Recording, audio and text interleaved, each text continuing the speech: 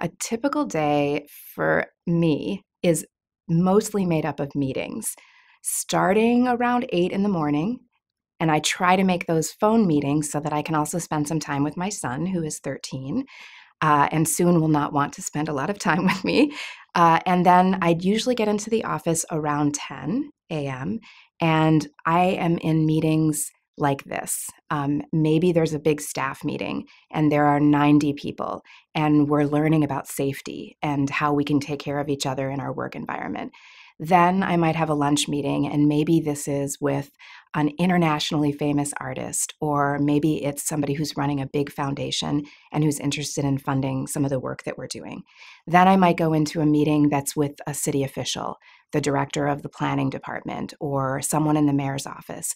And this conversation could be about placemaking and public art and things that we do outside of the walls of our art center that are really about helping to make the city a better place.